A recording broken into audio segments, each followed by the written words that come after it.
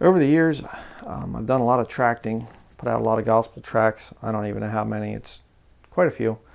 And um, my wife and I, we like to put tracts in interesting places and things like this, and and uh, we we enjoy. You know, a lot of times you go through the grocery store and they have the cases of beer and they have the little cutout hole on the side. You know, and you just go and you put a tract down in there or whatever else. You know, uh, help them with their partying later that they want to do. You know, but uh, there's some really interesting places to put a tract. But um, two sisters, dear sisters, friends of the ministry. Uh, recently sent me a picture of one, and I got to tell you, it's the most creative tract placement I have ever seen in all my life. It's gonna be hard to top this one.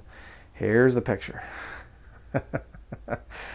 so uh, Mary there, uh, she's she's handing out a tract that says "Why is Mary crying?" I thought that was pretty good.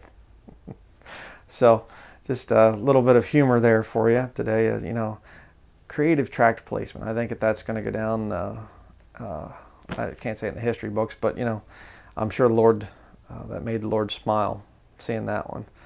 Uh, so just just a little bit of an encouragement to you, brethren.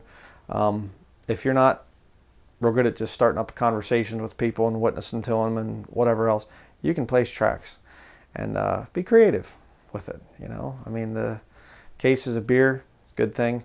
Um, pagan idols around, you know, hey, they got their hands out, give them a tract. You know, why not? That's going to be it. Thank you for watching.